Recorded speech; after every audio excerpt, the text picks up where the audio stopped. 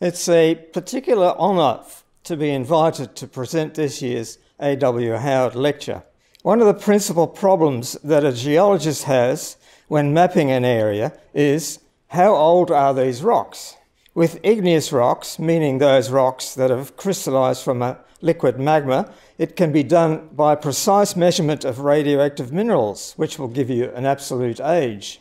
However, most of the rocks that form Victoria's basement are sedimentary rocks, laid down an ancient, on an ancient sea floor in a 100 million year long episode that began 500 million years ago and ended around 400 million years ago. There are places where the two mix. For instance, in, in North America, uh, the graptolitic sequence has tuffs interbedded in it. And these are, these are volcanic eruptions that big enough to have material falling into oceans, settling down into a bed. That's a tuff. And this has got radioactive minerals in it. So you can tell the precise age of these things. Same in, uh, in uh, Norway, in, uh, in Scandinavia, they have the same. These rocks can only be dated using fossils, and this is where graptolites come in. So, what exactly are these graptolites? They're quite small, mostly less than 10 centimetres across, and their most characteristic feature is the jigsaw profile of their branches, as you can see here.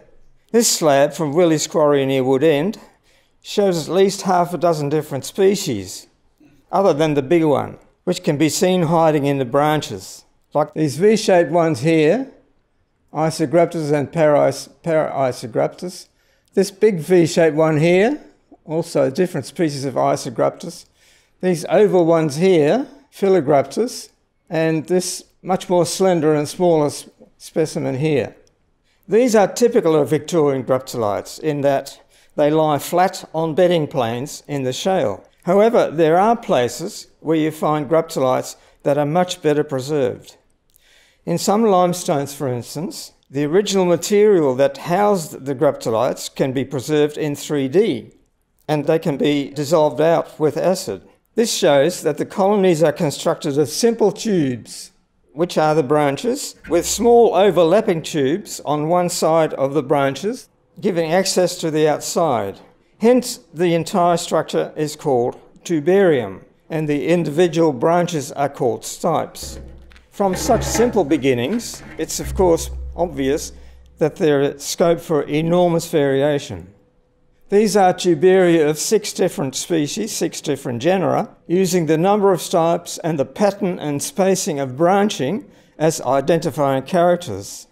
In this sampling here, the branching pattern is much clearer. Seven of these have only four terminal stipes, but all have completely different appearances. The sicula is where it all began. It's the first structure formed by the zygote. It looks a bit like a witch's hat, or for those of you who've never met a witch, a traffic cone. It's tiny, rarely reaching two millimetres in length. By convention, it's always shown with the pointy end up. The other end is open, and this is where the zooid was able to communicate with, with its environment. The primordial bud that lived in the, in the sicula gave rise to daughter zooids, which built their own little tubes, and these are called thecae, Latin for cups and so on, thus building the entire tubarium. This slide shows a biserial graptolite, meaning that two stipes are joined like that, grow upwards. The little holes on the side are called the apertures. These structures here are the thecae, in this case, another one here, another one there, and the slits in between are thecal apertures, which is where the zooids were able to protrude and send out feeding apparatuses like here. Where did they actually come from? Did they just all of a sudden explode on the scene, or were there uh, were there sort of they, precursors? Actually, they arrived in the Cambrian, and have, we have the, the earliest ones in the Cambrian, in uh, at Monegeetta, for instance, okay. and at Heathcote. Uh, uh, the same faunas. Are they simple? No, well, they look a bit more like they actually look like hydras, the modern hydras, they're sort of uh, related to, to corals. And they're, they're thought to be the ancestors, but we don't know what, what preceded them. You know, they, they're mm. not, there's nothing in the Burgess Shale, for instance, that looks like graptolites. Mm. What use are graptolites? It sound, turns out that there are quite a few things that make them extremely useful. For a start, they're marine and they are free floating, which meant they were distributed all over the marine environment. Quite a few species are found worldwide, which is really good for correlation. They evolved very rapidly, and importantly, they expressed their evolution in the way they constructed their colonies. These were made of tough collagen. It's able to survive strong compaction and folding. They're common in regions called fold belts, which are composed of rocks mostly deposited at great depth in the sea that have been strongly folded and deformed during mountain building events, called orogenies.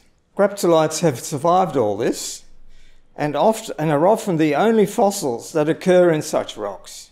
We use things like zone fossils to correlate, to tell, like this country over there has a collection of, of graptolites, and it has a couple of graptolites that we find in one of our collections, and they, they immediately know that they must be of roughly the same age. And that's the way correlation works. We now have an Ordovician rock sequence subdivided into 30 layers called graptolite zones, each with its own label and, more importantly, its own graptolite. This is the dream of geologists. We can walk to an outcrop, and if it has graptolites in it, we can determine whether it's older or younger than the outcrop down the creek. No other paleontologist can do that. They have to, they have to use a laboratory. So, what can we do with this skill? Well, I'm going to show you. On this map of Victoria, you can see that the eastern two thirds of the state has rocks that could potentially have graptolites. The Bendigo Goldfield. The rocks in this region are very monotonous slates and sandstone, and the only thing that can be mapped without the aid of fossils is folds. Graptolites have been collected from the Bendigo region since the middle of the 19th century, and over the years, graptolite identifications from more than 3,000 localities have been gathered into a register. It's now available in digital form, by the way. These have made it possible to map the geology of the Bendigo goldfield. Colours range from blue, the oldest rocks, through brown and yellow, to purple, the youngest rocks in the deepest synclines. What this map shows is a zigzag pattern of plunging folds and how continuous many of the folds are.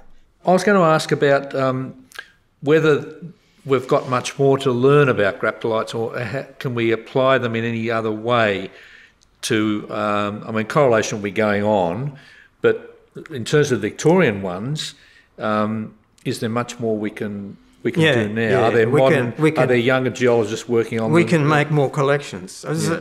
Uh, one of the papers I wrote on, I found a fauna that had been made century ago.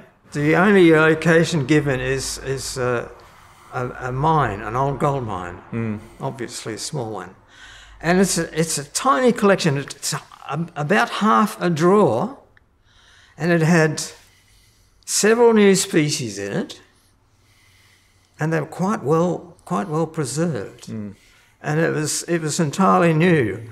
Uh, it was the best collection we had of a particular zone, uh, and I was able to prove that all the other localities that had been ascribed to this zone by other Victorian previous publications were wrong because it had a younger fossil. They had a younger fossil in it, which I didn't have.